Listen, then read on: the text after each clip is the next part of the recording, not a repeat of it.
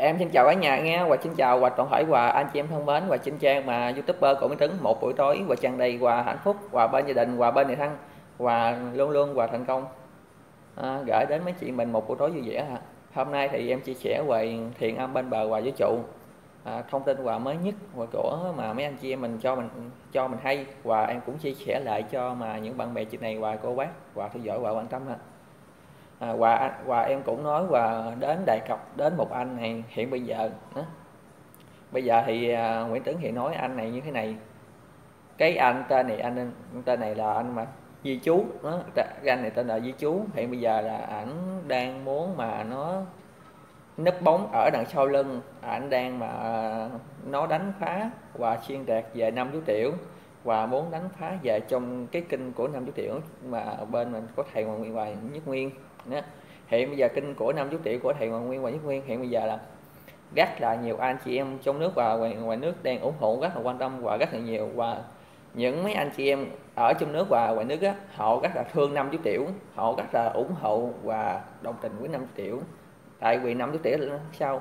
Năm chú tiểu là một coi cha một coi mẹ rất là đàng hoàng. Nhiều người ai cũng biết hết không phải là một mình em biết rất là nhiều, anh chị em khác vào biết nữa. Họ đã và minh chứng và đàng hoàng. Năm chú tiểu này là một coi cha, một một coi mẹ và từ nhỏ đến lớn. Được các chư thầy nuôi và được các chư thầy và chăm sóc và cho ăn và cho mặc, nuôi từ nhỏ đến lớn, rất là đàng hoàng. Và cái thứ hai, em cũng nói về anh mà di chú như thế này. Cái anh di chú là em không biết là ảnh ở đâu và cái thứ hai, ảnh sống ở trong nước hay là ở ngoài nước như thế nào ảnh làm kinh youtube ảnh nhưng mà ảnh đưa lên mạng. Ảnh nói chuyện nhưng mà ảnh không có mà đưa mặt ra. Chỉ nghe tiếng thôi. Như anh với chú này anh nói là kinh năm chú tiểu hiện bây giờ là đang mà lôi kéo những người dân uh, đam mê về ờ, kinh kinh năm chú tiểu. Và nói và về mà kêu gọi là ủng hộ kinh năm năm chú tiểu này. Nhưng thật sự ra là anh với chú này hiện giờ là ảnh đang mà quy chụp, là đang mà nó xuyên đạt và đang mà bôi nhọn về năm chú tiểu và bôi nhọn về những các chị thầy và bôi nhọn cho mà tỉnh thất bồng lai và thầy ông nội và những các chị con khác dũng. Với chú đứng ra nói chuyện mà không đương mặt, chỉ nghe tiếng thôi. Như hôm qua thì bữa kia em đã có như mà có vào kinh của anh với chú là em có nghe như thế này. Với chú nói như mà thế này nè hiện bây giờ trong tỉnh thất bồng lai tất nhiên là thiện âm bên bờ và vũ trụ á, là đang chuẩn bị và lung lay. À, anh với chú này anh nói là ừ, thầy ông nội đang chuẩn bị là qua đời. Em nói khẳng định với mấy anh chị rằng thầy ông nội đang sống được an nhàn và hạnh phúc và mạnh giỏi đó và được những chăm sóc những mà ừ, thầy hoàng nguyên và nhất nguyên và cũng đang chơi vui vui đùa những quế năm chú tiểu không có chuyện gì và nó sẽ ra hết nha. Cái anh cái anh hòa với chú này anh nói rằng à, kinh năm chú tiểu này đang chuẩn bị và lôi kéo. Và với chú này muốn đang mà nó đánh phá huệ kinh của năm chú tiểu. Đưa lên nói chuyện mà không dám mà đú mặt ra không dám mà đưa mặt ra. Và cái hay không có dám và tự đứng lên và đưa hình ảnh mình lên chỉ nói và nghe tiếng thôi và không dám đưa mặt ra. Đó. Như mấy, như mà những như vậy là những kẻ đứng đằng sau lưng đang nấp bóng, muốn đánh phá và xuyên tạc rất là nhiều người. Và em cũng gửi đến cho mấy anh chị em mình nghe như thế này. Mấy anh chị em mình á, đừng có mà ừ, nghe theo và mấy anh chị mình đừng có tin theo những gì mà của di chú nói, là hoàn toàn là sai sự thật hiện bây giờ là kênh của năm chú tiểu. Bạn bè trong nước và ngoài nước, rất là nhiều người thương năm chú tiểu. Và họ thấy năm tiểu này diễn hài rất là hay, và đóng phim cũng rất là hay, và nói chuyện và cũng về đạo lý Phật pháp cũng rất là hay và cũng rất là ngoan. Đó. em cũng nói rằng, mấy anh chị rằng đừng có tin vào mà cái hình ảnh và của mà bên kinh của di chú nói lên những điều gì như thế nào. Em cũng mà đề cao và nó cảnh giác cho mấy anh chị về ờ, kinh của mà của di chú hiện bây giờ đang kêu gọi là nó đánh phá vào kinh của nam tứ điểu e, em cũng mong rằng mấy anh chị rằng cũng hiểu về mà đâu là đúng và đâu là sai.